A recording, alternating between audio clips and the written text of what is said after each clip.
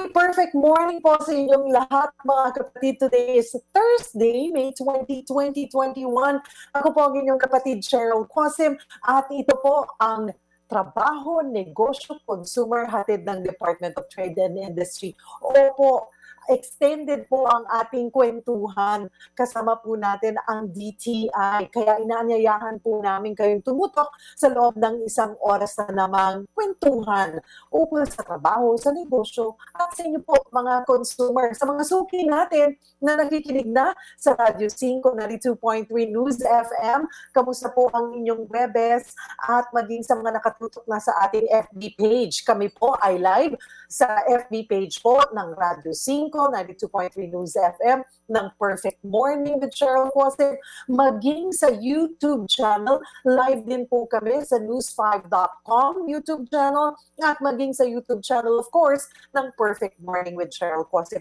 At sana po ay uh, mag-subscribe po kayo sa aming uh, YouTube channel at huwag niyo pong kalimutan i-click yung uh, notification bell para lagi po kayong updated sa mga live po natin at maging dun sa mga um, new episodes na ina-upload natin or pwede nyo pong balik-balikan yung mga episodes na na-miss nyo dito po sa Perfect Morning. At katulad nga po ng sinabi ko, sabay extended po ang ating kwentuhang trabaho, negosyo, consumer, hatid po ng DTI.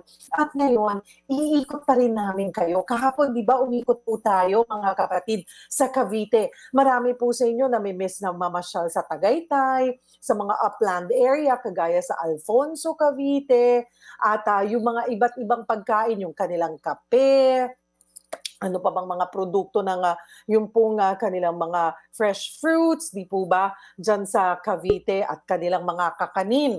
Ngayon naman po, abay buong Pilipinas na tayo marami po sa atin siguro miss na miss ang makauwi sa ating mga probinsya. Ako po, galing po ako ng Pangasinan, Masantos Kabosan, ed si kayo, yung mga kababayan ko po dyan, lalo na sa Kalasyaw, Pangasinan. At ako rin po ay laking Hagonoy, Bulacan. So marami rin po kami dyan kakanin. Namimiss ko dyan yung mga kakanin nga po sa Bulacan. Sa Pangasinan, ganun din. Yung sa Kalasyaw, yung puto, puto kutsinta po namin, bangus Ayan. Ngayon po, abay, tanong ko sa inyo, saan po ba kayong probinsya at ano yung specialty ng inyong probinsya na inyong namimiss? I-share nyo nga po sa amin. Ano po, at gusto naming malaman. At baka magkaroon pa po kayo ng uh, isa po kayo sa manalo ng 1,000 pesos. Ganun pa rin po, tatlo ang ating pipiliin today na makikisali sa ating discussion. Pwede po yan kayong magtanong sa ating mga officials mula po yung mga negosyante natin, ano, sa officials po ng DTI or pwede po kayong makisali lang sa ating diskusyon. Mag-post naman po kayo sa aming FB page sa Perfect Morning or sa ating YouTube channel. Makichat po kayo sa amin at tatlo po ang pipiliin namin na magkakamit ng 1,000 pesos today. Anong probinsya po kayo? Galing at anong specialty ng inyong probinsya ang inyong pinaka namimiss. Ayan, kwentuhan po tayo ha mga kapatid.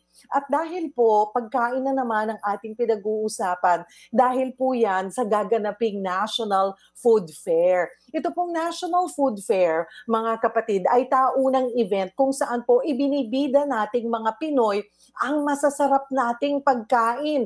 Bawat probinsya, abay, Siyempre, may kanya-kanya pong specialty. Kaya nga po, tinatanong ko sa inyo, ano bang probinsya nyo at anong specialty ninyo na pinaka-namimiss sa inyong probinsya? At uh, hindi na nga po napigilan ng pandemya ang pagsasagawa nito ngayong taon. So tuloy-tuloy pa rin po ang National Food Fair. Kung namimiss nyo na po yung mga specialty ng inyong probinsya dahil hindi po kayo makauwi, matagal na kayong hindi makauwi at hindi nakakatikim nun, ay dito po sa National Food Fair event nyo po yan mahahanap. At para pag-usapan po yan, kasama natin ating suki na rin po dito sa programang Trabaho, Negosyo, Consumer, hatid po ng DTI, Director Marivic Mavok Bonoan ng DTI Bureau of Domestic Trade Promotions. Hello, ma'am! Hi, good morning po, Miss Cheryl. At syempre, good morning sa lahat ng suki ng Perfect Morning. Salamat Ayan. naman at andito na naman kami at saka yung participants ng National Food Fair. Oo nga, na-excite na ako kasi alam hindi tayo uh, tinibag ng pandemya. Tuloy-tuloy pa rin ito pong event na ito, no, Director Mavic? Mabok. Oh. Ayan, sorry. Pinag, pinagsama ko yung Marivic at uh, Mabok. Ayan, Director Mabok. Opo. Oo. Sige, pag-usapan natin muna to bago tayo uh, mga, teka, meron akong papakita. Eh, sasabihin ko sana, bago ko inggitin yung mga kapatid natin, abay nauna na ako, I'm sure na miss nila to eh.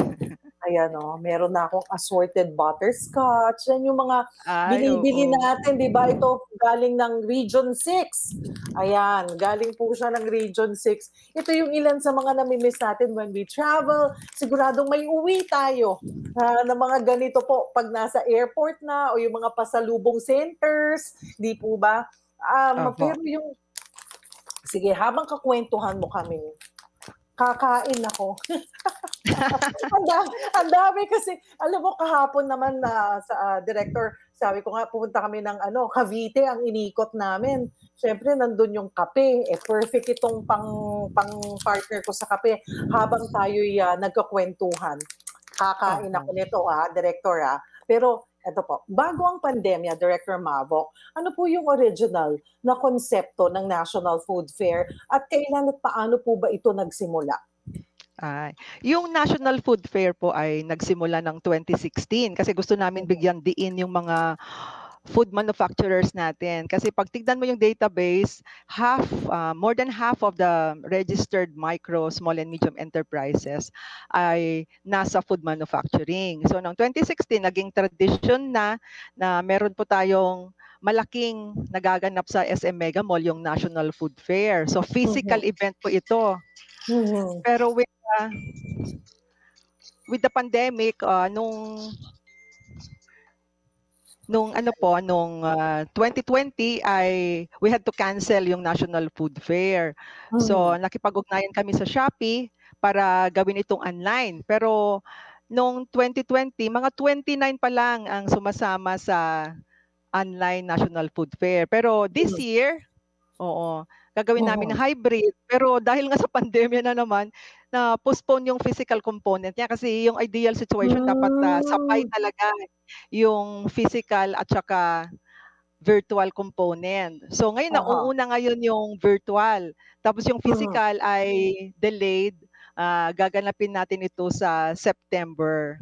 Mm. 2021 sa Festival Mall. Oo. Aha. Ay okay lamang naman po 'yan dahil nagsimula naman na yung online event ano, Director Mavok. Sabi niyo nga ay uh, kay gusto sana mag-adapt ng DTI sa sa nangyayaring pandemya. Gusto po natin ng may physical and at the same time may online. Kaya sinabi niyo nga po hybrid national food fair po sana Oo. yung magagawa may konting delay lang naman pala mga kapatid. Pero Oo, yung physical pa, component. O yung physical component lang. Pero hindi doon na hindi tayo kailangan mabitin, ano, mga kapatid. Mm-hmm. Online pwede pa rin. Okay, ano po itong uh, online event natin? Paano po ito isinasagawa ngayon? Nagsimula na po ba, Director? Ay, opo, oo. Nakipag-ugnayan kami sa eh, Shopee. So, meron mm-hmm. kaming joint uh, promo campaign noong May 10 to 16. Mhm. Pero tuloy-tuloy kasi ang maganda nga sa pag-online ka, once onboarded ka na micro, small and medium enterprises,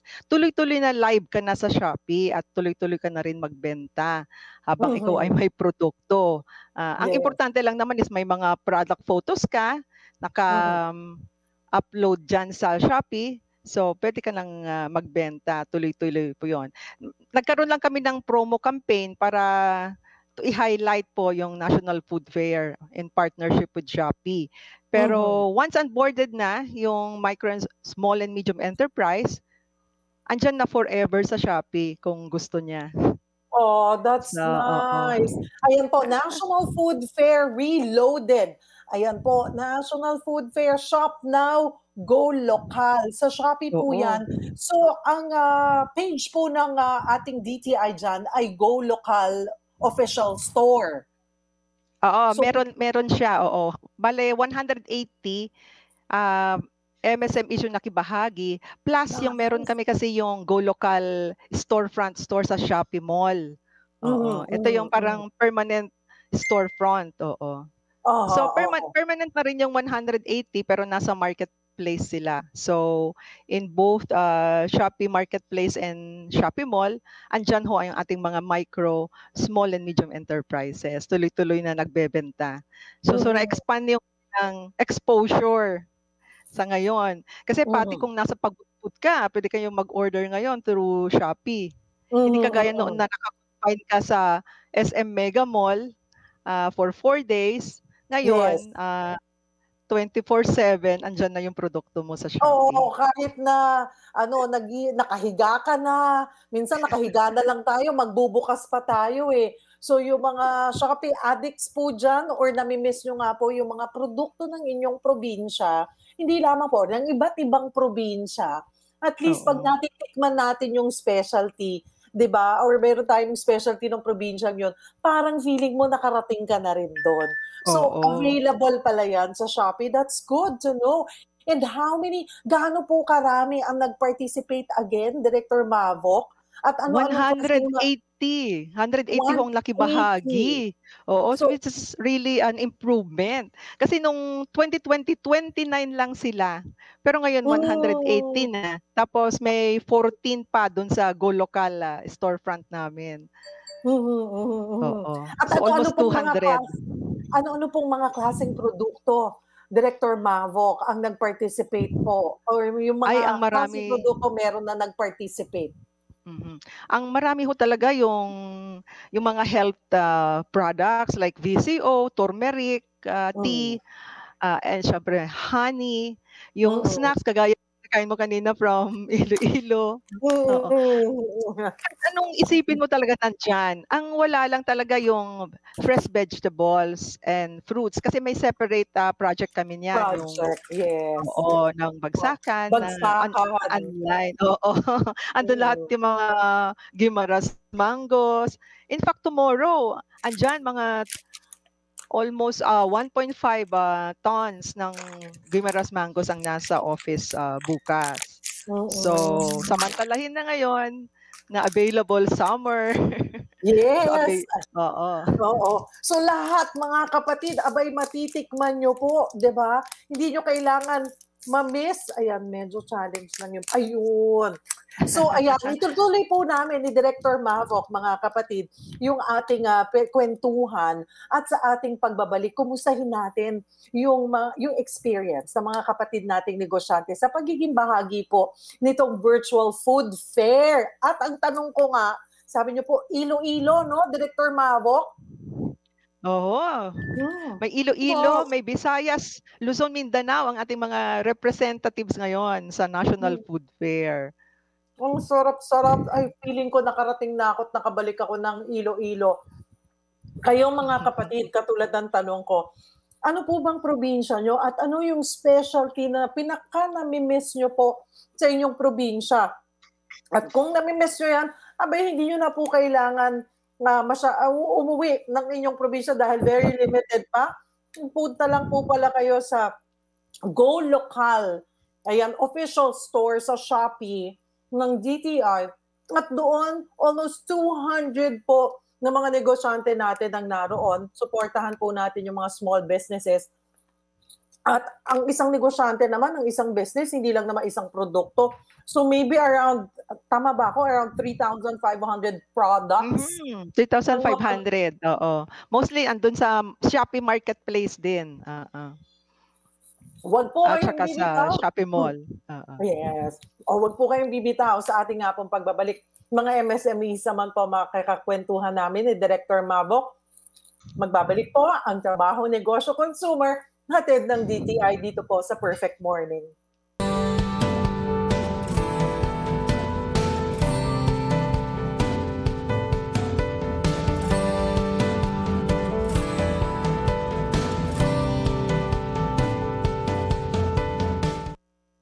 Nagbabalik po kami dito sa Trabaho, Negosyo, Consumer, hatid po ng Department of Trade and Industry. Dito muna po tayo sa ating TNK Balita.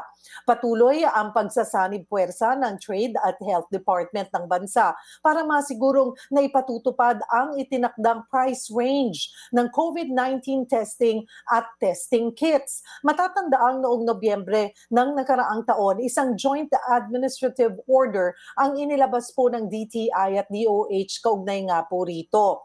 Base po rito, 5,000 piso ang maximum price para sa RT-PCR sa private hospitals, hospitals at laboratories habang 3,800 pesos naman po sa mga public health facilities.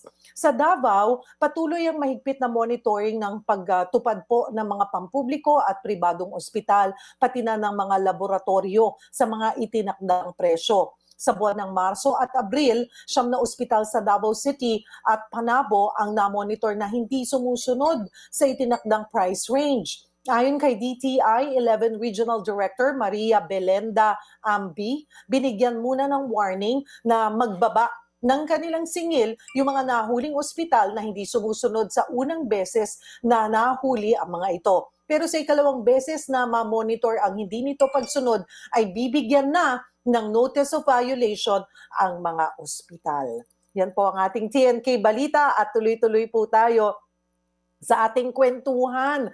National Food Fair, ginaganap na po yan at sa Shopee lamang po pala ay uh, maaari nyo na pong bilhin yung mga namimiss yung mga produkto sa inyong mga probinsya.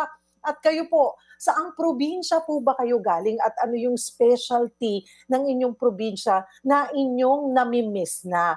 mag-post lamang po kayo sa aming uh, ah, FB page or sa ating uh, YouTube channel at uh, malay nyo, kayo po ang magkamit ng isa dun sa tatlong mananalo ng tig 1,000 pesos. Perfect po yan. Pwede na kayong mag-shopping ng inyong mga namimiss na mga products mula po sa inyong probinsya. Kasama pa rin po natin ang uh, DTI, of course, but at this point, magkakasama naman natin si Maria Crisol del Rosario, ng Coco Plus Aquarium Development Corporation mula sa Luzon. Hello, Crisol. Hi, perfect morning Ayan. po, Michelle. Hello, Mar- paano ba kita tatawagin? Maria, Maria Chris na lang po. Chris. Ayan, thank you, Chris. Yes, At kasama po. rin natin si Trisha Alcantara ng RJGM Pacific Corporation mula naman sa Visayas. Good morning, Ms. Cheryl. Good morning Hello. po sa lahat. At kasama naman natin si Lovely Lau Lato ng Lau Integrated Farms Incorporated mula naman sa Mindanao. Maayong buntag, Ma'am Cheryl. Good morning po sa lahat ng tagapakinig at tagapanood ng TNK. Uh, hello. Aba, uh, girl power tayo, ha? full force. At yes. pwede, pwede nang pang Miss Universe yung mga guest ko ngayong umaga. Sino kaya? Pero winner po yan lahat. Luzon, Visayas, Mindanao, winner po lahat. Pagkwentuhan natin. Okay, unahin natin si Chris. Chris, ano ba ang nature ng inyong negosyo at paano at kailan ito nagsimula? Ayun, si Coco Plus Aquarium Development Corporation po ay manufacturer and exporter po ng organic virgin coconut oil and other coconut products po.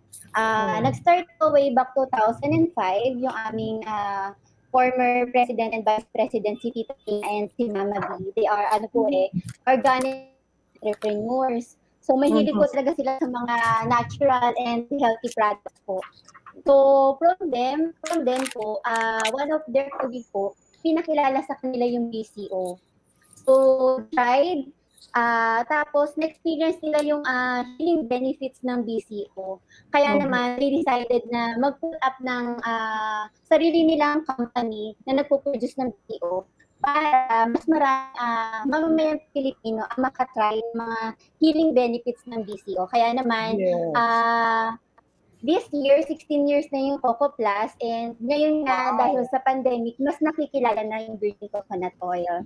Oo, lalo na 'di ba gumanagsasawa yes, ng studies ang uh, ah, DOST yes, yes, doon sa health benefits ng uh, coconut uh, uh, ng uh, virgin coconut oil ano na yes, pwedeng pwedeng makatuwang mo sa pagpapalakas. Yes, Oo, maka, makalaban sa virus na ito. So that's good. At hindi lamang uh, virgin coconut oil ang produkto nyo, no? Nakita ko, meron yes kanina. po, other coconut products, coconut mm-hmm. sugar, meron din po kami skim coconut milk, mga coconut cooking oils. Basta po okay. mga coconut po, meron po kami niyan. Ayun, may coconut milk, may cooking oil. Ayan. So that's great to know. Yung um, kahit na may pandemya, nandyan pa rin, tinatangkilik pa rin ang ating mga kapatid. Naapektuhan ba kayo kahit papano sa sales, sa negosyo, sa yes, ng negosyo? Naapektuhan ba kahit papano ng pandemya yung um, inyong uh, Actually, ma'am, si Coco Plus po, um, sabi ko po parang naging blessing in disguise kasi yung nagkaroon po ng pandemic, mas tumaas po demand po sa product namin. Matagal na po sa pero hindi pa siya at na uh, parang nakikilala sa market. So, pagdating nito pong pandemic, dahil tinetest na nga po siya ng DOST, so napag-uusapan na siya through media, so mas tumaas po yung sales po namin this pandemic. Oo, oh, ayun. Eh kasi sa sa Japan, 'di ba? Gustong-gusto nila 'yan. Coconut Opo, uh, ay yung virgin coconut oil na 'yan, yung BCO. Yes. Okay. Sa Japan Lipad tayo. Oo, lipad tayo mula Luzon. Punta naman tayo sa Visayas. Ayan. Si Tresha. Hi, Tresha. Nako, Tresha. Ayan, inaal, inaalmus, inaalmusal ko na, iniinggit ko na yung mga kapatid natin. Dumating. Umabot yung produkto nyong pinadala ni Gaines. Ayan, I have itong, I'm trying yes. now the butterscotch squares nyo with mango bits. And then, syempre, meron tong uh, cashew, yung may cashew, Ayan, nagtin ako na yung tindera mo online. Coffee spots squares with almond. And then, meron ding, ito butter, ito, assorted. Para matikman nyo lahat. Ito kinakain ko ng mga kapatid. Bine-breakfast ko na yung well, mango. coffee. Mm, it's so chewy. Ang sarap-sarap. Pero kwentuhan mo kami sa, about, about sa uh, RGs sa inyong negosyo. Okay, so yung brand po ng business talaga is RG's. And then, nag-start lang po siya out of a cooking hobby, Miss Cheryl. So, um, yung owners, nag, nag, they would give lang to their friends and family before. Tapos, eventually, yung friends na nagsabi na, ibenta nyo na lang to kasi nahiya na sila hubingi. So, hmm. after that, um, in 2003, they decided to register the business with DTI under RG's The Legacies. So, um, RGs po siya kasi R and G yung um, first letters ng names ng owners, which is from Juan and Grace. Tapos, mm-hmm. in 2016, nag-incorporate na siya as RJG and Pacific Corporation, but um, RGs pa rin yung brand. So, mm-hmm. yung products po namin, Ms. Cheryl, we have, um, we're really known for our butterscotch squares, but we also have other um, delicacies like yama, butterscotty, and our cookies are very unique. Mm-hmm. And then yung butterscotch, if familiar po kayo um, sa butterscotch before, yung traditional recipe niyon is with cashew nuts lang po siya. Mm-hmm. So Arby's was the first to innovate um, with by trying out different flavors. So yung first flavor na that we came up with is the butterscotch squares with mango bits, yung yung natatry niyo po ngayon. Mm-hmm. So kami po yung nag-start niyan. Sa bakery namin nag-start niyan. And then over the years, we developed different um, variants also like butterscotch squares with um, almonds, with coffee, with dates, with choco oats, and more. So um, kaya po yung, sa, yung assorted po, yung pinakita niyo rin kanina, um, if uh, our customers can't decide, um, we recommend um, buying this because the best sellers are all here na. And then, um, yun, aside from, so aside from butterscotch, we also have yema, and we have butterscotty. Our, our, our cookies are very unique, Ms. Cheryl. Um, mm-hmm. Padalan po kayo namin next time kasi hindi umabot yung cookies. Pero yung cookies po namin can't be found anywhere else. So we have the butterscotty. Um, it's the it's like the biscuit version of our butterscotch. We have walnut cookies, coffee scotch chips, lemon crisps, and more. Naku, kasarap ano. Aba, mga kapatid, hindi nyo po kailangang mainggit sa amin, sa akin, at uh, mag, ma, manamnam, no? Dahil available naman po lahat ito sa Shopee. Maging yes. Coco Plus, 'di ba? Yung ating VCO na na yung yung uh, ah, VCO skimmed milk, ayan, pati yung kanilang uh, yung kanilang coconut oil. Okay, Luzon, Visayas, Mindanao. Punta naman tayo sa Mindanao. Pili, pinifeel ko yung nalipas na Miss Universe. Para pang Miss Universe naman ang ganda nyong lahat. Si Lovely Lau Lato ng Lau Integrated Farms. Ano naman ang produkto nyo? Ano yung nature ng negosyo? At paano at kailan ito nagsimula? Lovely. Naku, nakamute ka yata, Lovely. Tingnan mo nga. Ayun. Ah. Hi po, Ma'am Cheryl. So, si Lao Integrated Farms Incorporated po, we are doing business as Donabel. So, ang founder po ng Lao Integrated Farms Incorporated ay si Mr. Benjamin Lao. So, ever since po, he started the farm, he utilized the natural farming system. And in 2008, he started the coconut uh, sugar production upon the introduction and help of the Philippine Coconut Authority. And after a year, in 2009, uh, he uh, started exporting coconut syrup in the United States of America. And apart po ng coconut syrup, we are also producing coconut sugar, uh, Donabel uh, powdered turmeric tea. We also have uh, coconut seasoning, and we are doing uh, domestic market under Donabel brand. So apart from uh, manufacturing po, the company owns a locally and internationally certified organic demonstration farm and Department of Tourism certified day tour farm. So marami pong local and foreign farmers, farm enthusiasts wow. na visit po ng farm to learn about um, organic farming systems and experience po the farm-to-table meals in our little restaurant. Wow! Nakita ko yung turmeric, uh, meron yes. yung moringa. Ano ba yun? Uh, inaano lang, tinitimpla lang. Yes po, yung ginger tea, moringa tea, hot chocolate namin, face out na po kasi um, nag-focus kami dito sa aming turmeric tea, cocoa sugar, seasoning, mm-hmm. and syrup po sa export Ako, market. isa pa yan, patok na patok din ang turmeric. Abay, perfect. Yes, po. diba? Yung uh, inyong turmeric tea kasama nung butterscotch, 'di ba? Tapos dalawang kutsara nung uh, ah, VCO, may kompleto, kompleto tayo. Yes po, napaka-perfect. Diba? At sabi ko nga mga kapatid, sila po lahat ay available dito po sa sinasagawang virtual event ng National Food Fair na makikita nyo po sa Shopee. Sa ating pagbabalik, kwentuhan nyo kami kumusta yung naging karanasan nyo sa pagsali sa, sa naging doon sa naunang traditional NFF, National Food Fair, at ngayong sa online na ito ginagawa. Huwag po kayong bibitaw mga kapatid, magbabalik pa rin po kami dito sa Trabaho, Negosyo, Consumer, TNK, hatid ng DTI.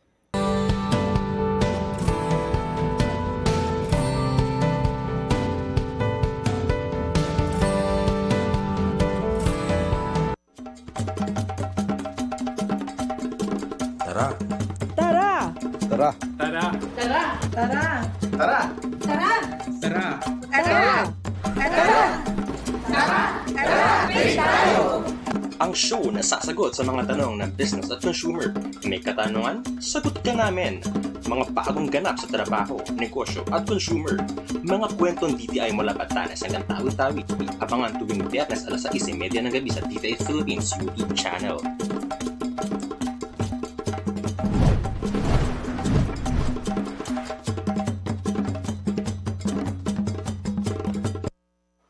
Nagbabalik po kami dito sa Trabaho, Negosyo, Consumer, hatid ng DTI, dito po sa Perfect Morning. National Food Fair po ang sentro ng ating discussion today dahil may nagaganap nga pong National Food Fair. At ito po ay makikita nyo po sa Shopee. Kaninang kasama natin sina, o oh, kasama natin muli si Chris, si Trisha, at si Lovely. Ayan, mula Luzon, Visayas, Mindanao, kanya-kanyang produkto. Ito yung ilan mga kapatid natin, kagaya si Loy Tor. Naku, ako po'y galing sa probinsya ng Albay. Pinaka namimiss ko pong pagkain ay ang pinangat, tinuktok at pili Plus ang perfect cone, syempre, na Bulkang Mayon.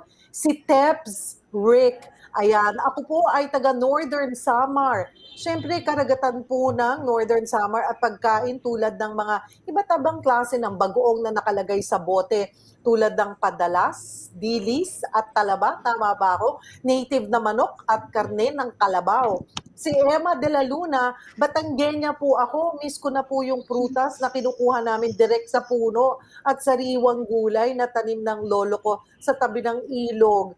Si Zita Briones, ako po mula sa Antipolo City, Laking Iloilo City. Ang specialty namin ay ang Lapaz Batchoy. Ayan, at si uh, Chine, Chine, tama ba ako? De La Rosa, Esmeria, Pandan, Catanduanes po ang aming province. Super miss ko na ang kuyog.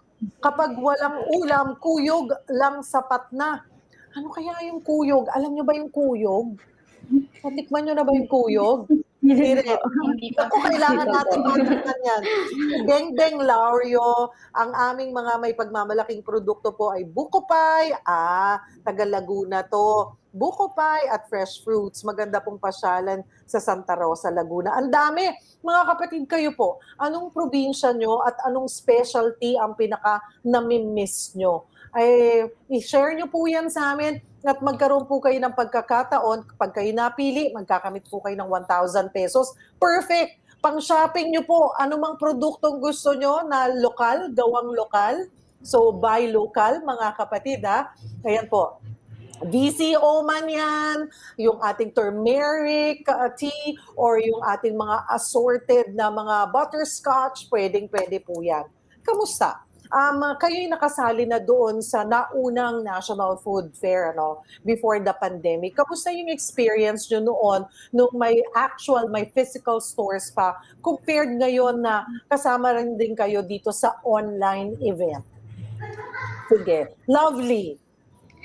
Um, doon sa tra- traditional na National Food Fair po, so nakakaharap at nakakausap namin yung mga prospect buyers namin. So, which is more easier for us kasi doon kami nasasanay. Uh, dito naman po sa online na National Food Fair, um, naging challenging siya sa amin kasi um, dito na dito natin makikita yung stability ng aming Wi-Fi connectivity, yung mm. lalo na po yung high-tech survey, yun. At hindi namin personally nag-interact at nag-negotiate yung ating mga buyers which is mas mahirap sa amin. But this online NFF po, isang magandang platform to advertise and promote our products po in the midst of pandemic. Mm-hmm. Ikaw, Trisha, So, um, Ms. Cheryl, yung sa traditional naman, pag nasa traditional, yung maganda doon is, yun nga, yung sabi ni Loveline kanina, you get to talk with your customers and of course the customers nakikita po nila yung product mo in person and then um, kung may samples ka matitikman nila kaagad tapos yun pwede ka mag-marketing um, in person but um, maganda din naman yung um, sa, based sa experience namin with the online NFF this year um, uh, happy po kami na ginawa po to ni BDTP kasi of course um, with with the pandemic looming um, hindi kami like kami based kami sa Iloilo.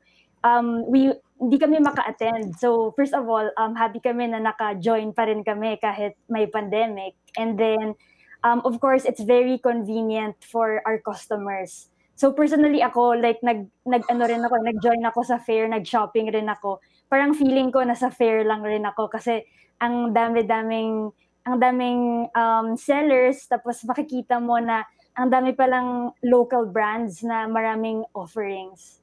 Mm-hmm. So yun. Okay. Si ano naman, si Chris. Chris? Yes, Cheryl. Actually, uh, kung tatanungin mo kami, ma'am, kami ay suki po talaga kami ng mga trade fairs, especially yung National Food Fair. Basta po merong opportunity sa trade fair, talaga pong sumasali kami.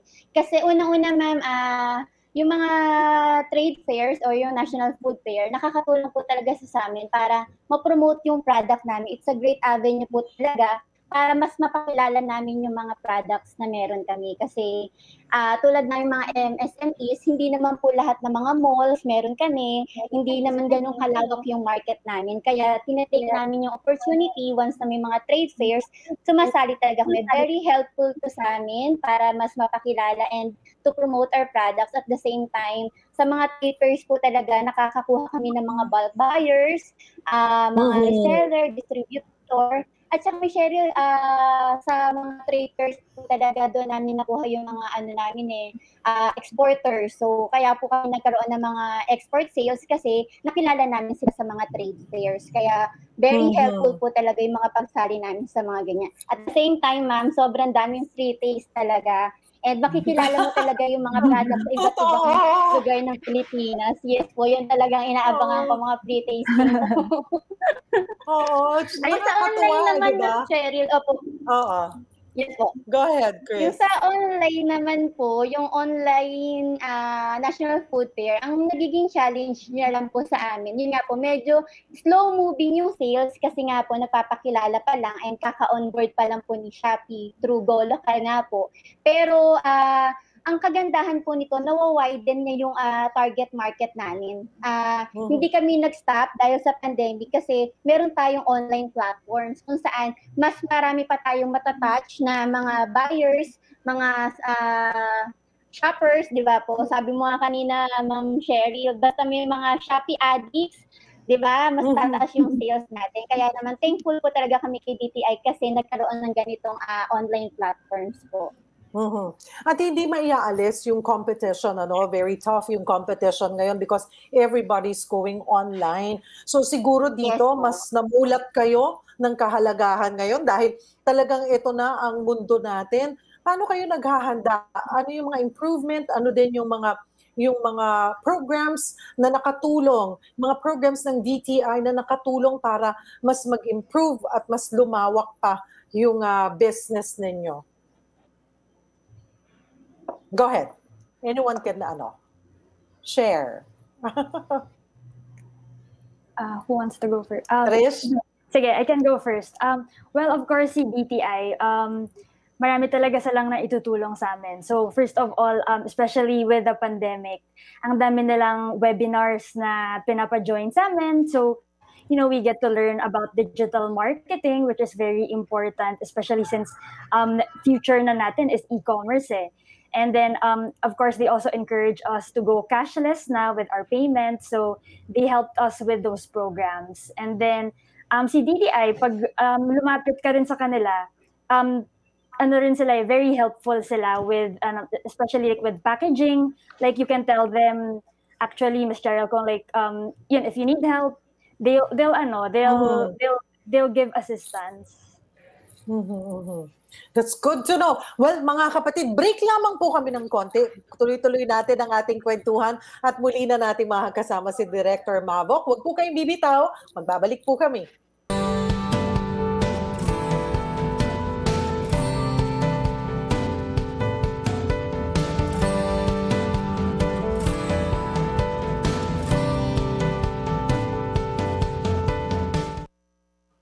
Nasa huling bahagi na po tayo ng ating programa. TNK Balita po muna tayo. Suportado ng New Zealand ang pagpasok ng Pilipinas sa Comprehensive and Progressive Agreement for Trans-Pacific Partnership o CPTPP.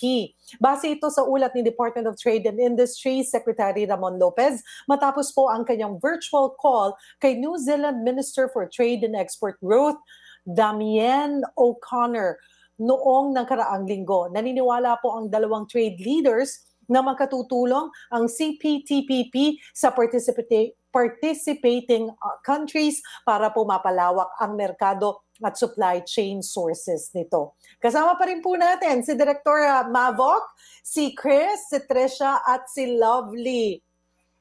Hello ladies. Ayan. Ang ating girl power tayo, Director Mabok eh. Oo. Full force. Um, Director Mavok, ano po ang maaasahan natin? Although this is already ongoing, pero mm-hmm. kailan po ito nagsimula? Hanggang kailan? Paano sila uh, makakapag-shopping sa Shopee at uh, maging yung paghahanda po na ginagawa ng DTI para sa physical uh, trade fair come September. Oo. Medyo malayo pa kasi yung physical event natin sa October. Ay, sa Babalik ka September. Oo. Kaya tuloy-tuloy kami makipag-ugnayan sa mga e-commerce platforms natin para Mhm. tuloy-tuloy na ihatid ang National Food Fair. Hopefully, may ibang e-commerce platform din na i-host ang online National Food Fair after. K- pero ito kasi Shopee, tuloy-tuloy na talaga ito. Ah, Hindi na po yan mawawala. Oo, Ah, hindi na forever mawawala. na. O Oo. ayan, dun sa mga hindi basta gusto naniniwala na nila. forever, may forever po sa DTI. Nasa kanila na lang kung gusto na nilang ah, umalis sa Shopee, pero tuloy-tuloy na po ito. Once na onboarded ka sa Shopee, sa Shopee Mall, Mhm. or sa um, Shopee Marketplace, ay Mhm. for, forever ka ng live, basta may produkto kang ibenta. So, Mhm. Itry din namin po ng ibang e-commerce platform para tuloy-tuloy na mabibida ang ating mga Pilipinong produkto. At syempre, tuloy-tuloy din na itaas ang antas ng pamumuhay natin kahit may pandemya. Aha. Ayan, hindi nyo po alam. Ngayon siguro nasa Shopee tayo, pero eventually ma- magkakaroon na dyan, mag-open na sa Lazada, ayan, i-accommodate nyo po yung ating mga MSMEs, and Oho. mali natin, aba, mabanggit ko nga yan kay, ano, kay Rafi.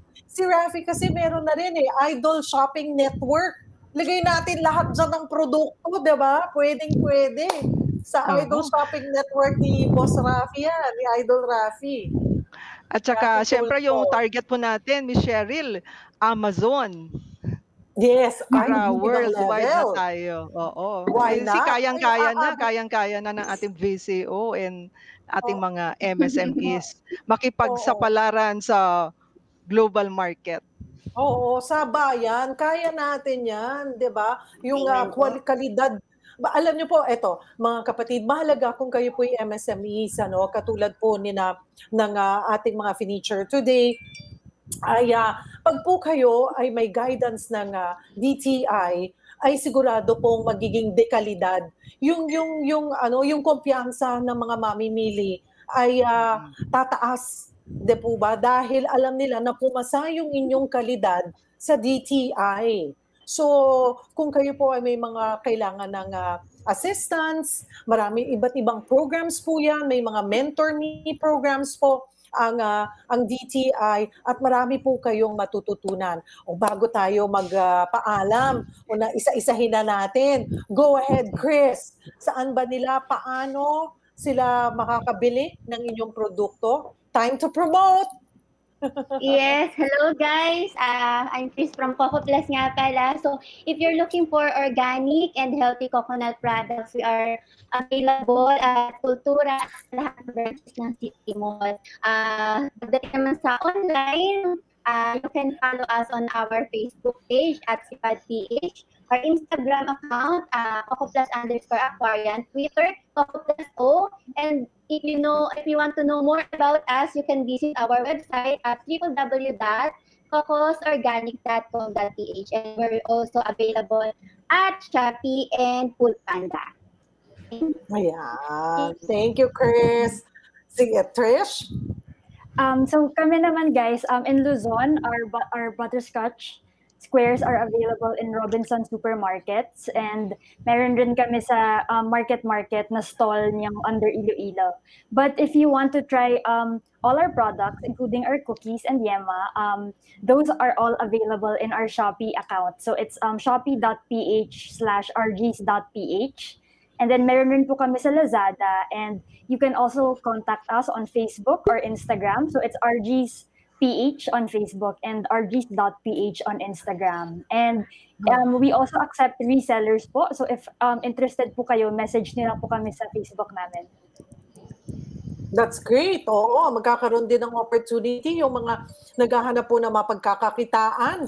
O, perfect din na maging reseller po kayo. Lovely. Yes po. So sa lahat po na humahanap dyan ng healthier and 100% organic products, So meron po kami. So you can visit us on our website at www.lawintegratedfarms.com. Meron din po kami sa Shopee, sa Go Local Stores. Just search po Donabel underscore products. And you can also uh, like us on Facebook at Lao Integrated Farms, INC. And meron din po kami sa Instagram at Lao Integrated Farms underscore officials. Meron din po kami sa mga NCCC malls dito sa Mindanao and Gaisano Grand Malls po. Ayan, thank you. Ito, i-share ko lamang yung mga kapatid natin kasi sabi natin, ano bang probinsya nyo at ano yung mga nami-miss din nila. Yung ano, ayan, alam na natin yung ano, yung kaninang tinata- tinatanong natin, yung uh, kuyog. Yung palang kuyog, sabi ni Driz Rosales, kilala yan sa tawag na padas yung salted na maliliit ah. na isda. Ayan, we learned something new. Ayan, si Peter Bihag, masarap kainin sa Cavite, manggang, hinog, si Nemenzo Carlos Jr., good morning, may pagmamalaki po namin, pinarak dito sa Negros Occidental.